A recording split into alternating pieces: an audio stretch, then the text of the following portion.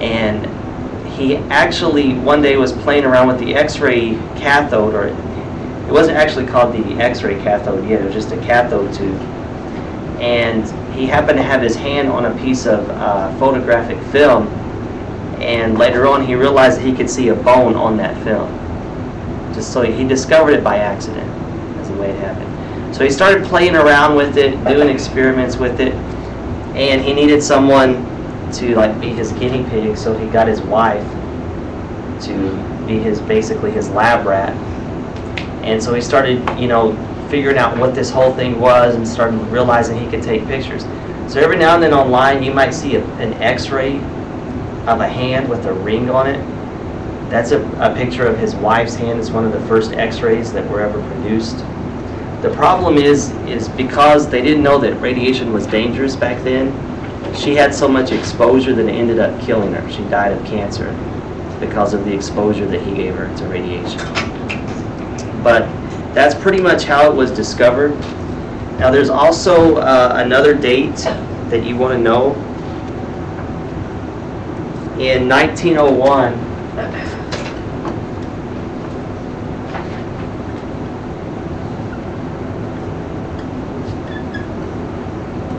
1901 he won the Nobel Prize for his discovery. Now because he didn't know what it was at the time, he called it X-ray just like in, in math, algebra, when you're solving for something that you don't know, you call it x. So that's how it got its name. So remember the date that he discovered it, November 8, 1895, and then no, uh, 1901, he won the Nobel Prize. The thing about x-rays though, this, this is what also began uh, medical lawsuits. Because now if one doctor said you didn't have a broken bone and another doctor took an x-ray and said you did, then the patient wanted to go back and sue the other doctor. So we never really heard of any uh, medical malpractice lawsuits until x-rays were first discovered. Also on page three of the book, it tells you the properties of x-rays. It says that they are a form of electromagnetic radiation and they're similar similar to gamma rays. Okay, remember from the Incredible Hulk, gamma rays are what turned the guy into the Incredible Hulk. Okay, so they're they're kind of the same. Gamma rays are just a little bit stronger than X-rays. X-rays are strong because they can go through your body. All right, when you get an X-ray done, that radiation will come out of the machine. It'll go through your body.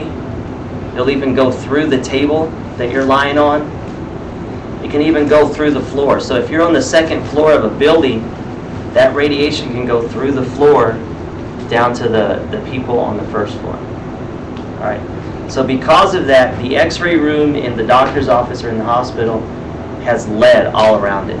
All the walls have lead. The floor would have lead so that the radiation won't pass through it. Okay. Now there's a list of properties on the bottom of page three for x-rays that you definitely want to know. And they're also in the notes, okay, which would be on the bottom of page two, which right now, those of you here don't have it because I've got to copy that for you. But on the bottom of page two uh, is the same list of things as the bottom of page three in the book. All right, it says they travel at the speed of light which is 186,000 miles per second. Okay, make sure you know that's miles per second.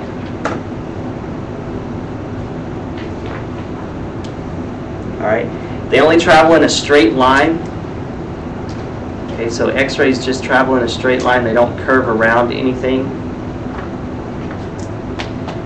Uh, they make certain chemicals emit light, and they can ionize matter. This is a, another important term, ionizing matter.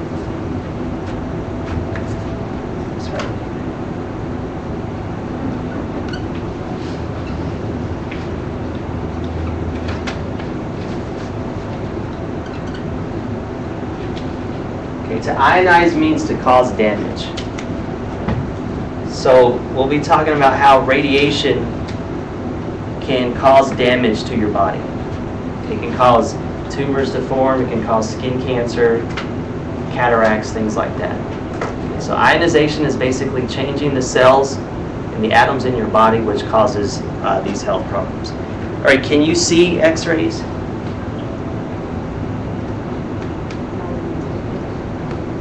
You can't see the X-ray beam, right? Okay. You can't hear it and you can't feel it. All right, so it's pretty much invisible. So that's why we have a light that shines out of the bottom of the machine to show you where the X-ray beam is going to be. So you can't see it, hear it, or feel it.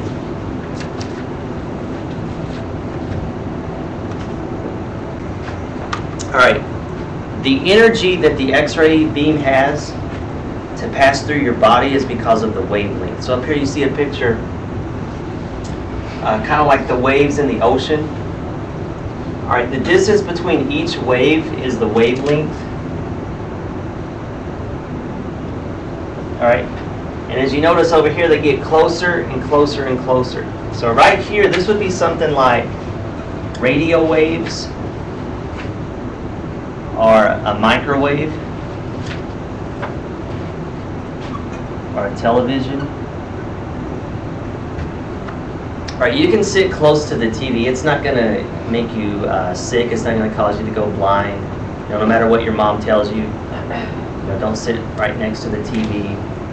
Um, some people think it's dangerous to stand right next to a microwave.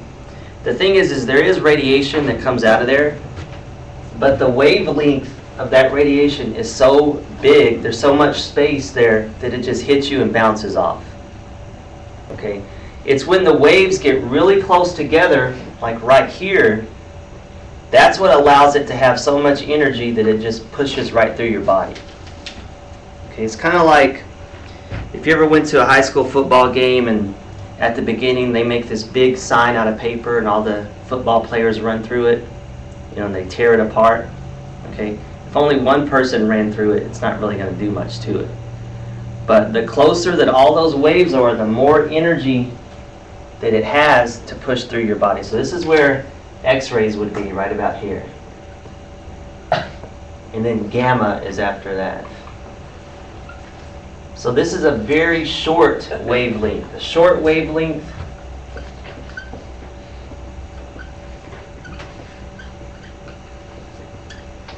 equals more power.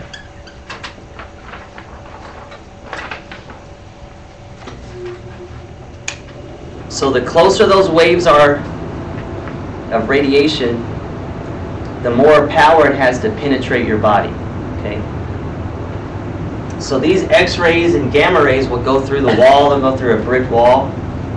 Okay? The only thing they won't go through is lead.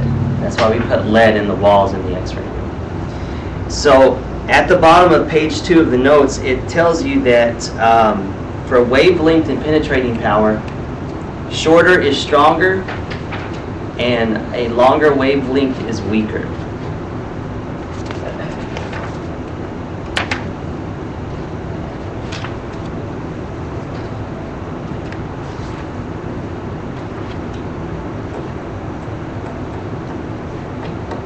All right, on page four in the book,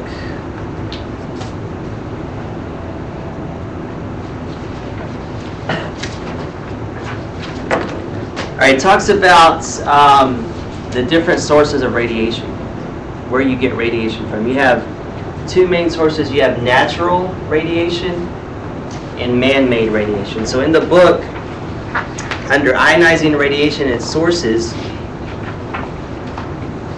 um, you'll read there that you have natural and man-made. All right, natural radiation is radiation that's out there that you really can't do much to avoid. Okay, what are some examples of natural radiation? The sun. Okay, what kind of radiation is that? UV, ultraviolet radiation. What else is out there? If you ever fly in an airplane, you're going to get exposed to more radiation than someone would that's on the ground. Okay, because you have radiation from the sun, but also from the stars. That's called cosmic radiation. All right, there's radiation in the ground.